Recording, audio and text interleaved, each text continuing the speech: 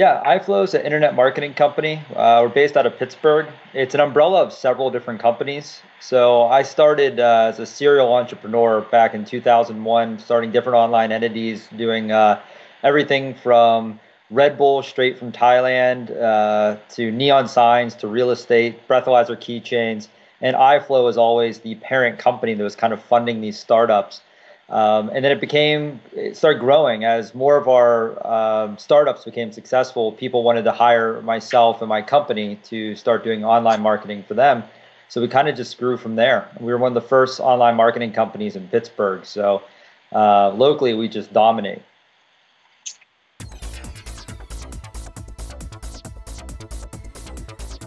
Uh, it really changes. I mean, we deal with um, several Fortune 500s, and we still deal with small mom and pop shops that may have uh, small law, law firms, uh, contracting firms.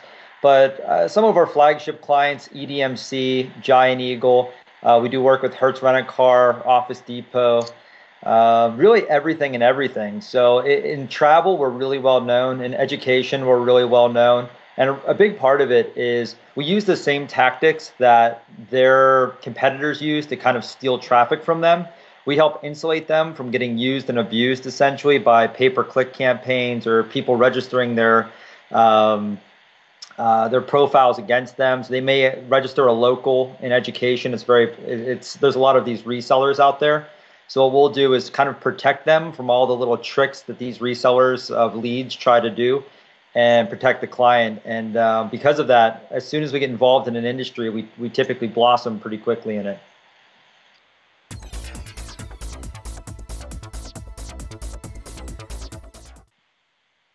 Uh, one of the biggest things is not utilizing your title tags for your actual site yourself. If you do a search for almost anything, you'll notice that the title tag on the first page of results seven to nine of those on the front page are going to use the keyword you're searching for in the title tag. And I don't think people utilize that enough. Your title tag is so important, not abusing it in keyword stuffing, but writing good descriptive title tags. Um, that's something I, I, see often overlooked where people just use their company name or something, uh, the same title tag on every page. That's a huge issue I see. Not registering your locals like Google Local, Yahoo Local. That I just uh, it's free. It takes a few minutes and can really help you, at least on your local level, gain traffic. Um, you can also, so you can basically come up twice on your with your uh, Google search. You can come up number one on the maps, and you can come number one on the organic. But so many people don't take the time to register their locals because they see their listing and don't understand they have to verify it.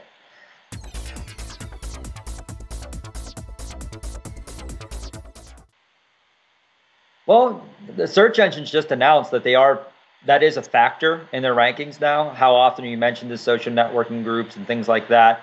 Um, we've always kind of predicted that that that was going to happen, but it's such a tough thing for companies to comprehend, uh, both big and small. Um, we work with small companies and we work with big companies, and all of them think that by just registering a Facebook page or registering a Twitter account, that that's all you need to do. And you really need to stay active. You need to build followers. You need to have good education, educational content. You can't just send out hype about your company all day. You really have to be an educational resource. And I think across the board, so many people don't understand how to utilize a social network in order to help them gain business. They look at success as gaining more followers, but they don't know what that means. What's the ROI on that? They have no idea. They just know they want more followers, and that's that's a dangerous um, thing to assume that because you're getting followers that you're going to make more money. And so what we try to do is steer our clients into, well, okay, you're getting more followers. What now? And what are you, how are you trying to generate business from those followers versus your website? And and just trying to make the client think through from start to finish, which many times they don't.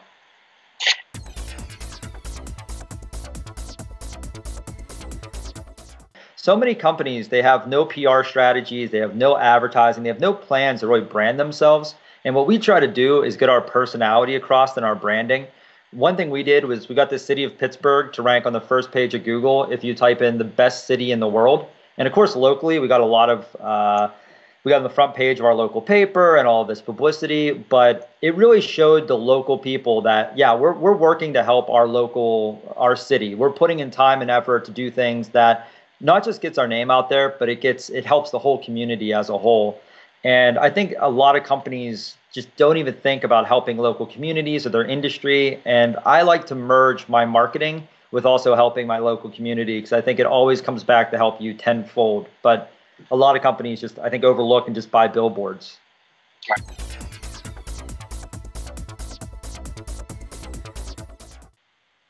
Uh, that was my first legitimate business. I found a company down in Florida that was just starting off. Um, I was importing things from out of the country around that time. Just had this little website, uh, importing importing cool things I thought from Japan and Korea, and trying to bring new products over, making a little bit of a markup. And then I found this awesome product that was actually saving lives. Um, based out of Florida, it was a small company, three person shop.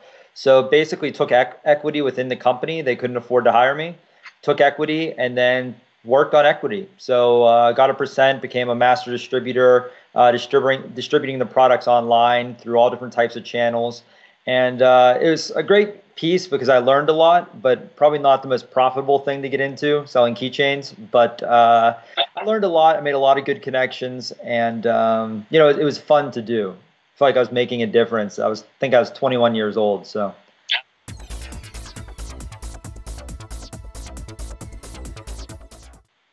Yeah, I was actually uh, not just nominated; I was a finalist last year, which is pretty cool. Um, I was one of the youngest, I think, that was there. Um, it was really cool. I mean, I, I, honestly thought I didn't have, I didn't think I had a chance at all. And the person I lost to, I think his company was something like 30 times the size of mine. Um, but what they gauged you gauged you on was just basically your entrepreneurial spirit, which I thought was really cool. It wasn't all about income.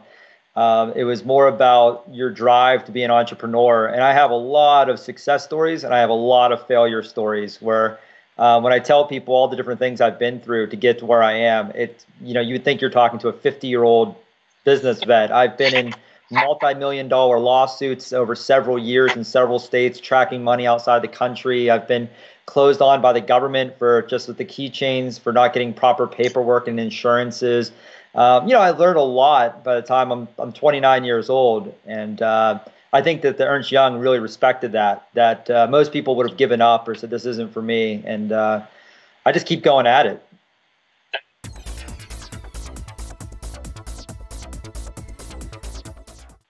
Yeah, I in high school I was I just was not a good student. I always had my own little hustles going on, um, whether it was on weekends traveling to different festivals and shows and selling food at festivals. During school, I had a whole business selling uh, discounted Hostess pies, where I bought them about a week before they expired. Filled my parents' garage with crates of pies, and we're selling them for eight times markup because they were about to expire. So. Uh, I college for me, I, I, lasted about two weeks at a four-year college, and then uh, I went to an associate trade school just to, to brush up on my web design. Went there for took two years. I graduated in uh, 14 months uh, by taking double classes, and then yeah, just went straight into starting my own company, my own consulting. Uh, took a few little gigs, part-time gigs um, with marketing on the side, but uh, by the time I was 19 years old, I had a full-fledged internet marketing company one person deep. But yeah, it was uh, exciting.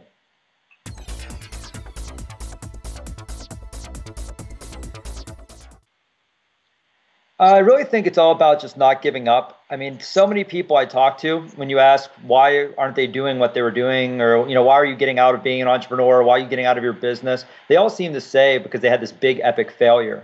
And I, I mean, that just for me, I learn it as I use it as a learning experience and say, I'll never make that mistake again. And it's burned in my head. Um, so for me, I think stubbornness has something to do with it too. If someone says I can't do something, I just want to do it, um, which I think is a, a, trait you definitely need. Optimism is the other thing that I've noticed is, is different with me versus my employees. Is that I'm always 100% optimist, op, op, uh, optimist. I'm 100% optimist. Uh, I think everything's going to work. I'm just 100% convinced that anything I do is going to succeed. And if it doesn't, uh, you know, I, I sometimes hit that point where maybe I should have cut off a little bit earlier. But I think as an entrepreneur, you need to have that excitement because others will feed off of your excitement. You can't go in thinking anything's not going to work or it, it, will never work. And I think those are some of the traits that I have that uh, have helped me get to where I am.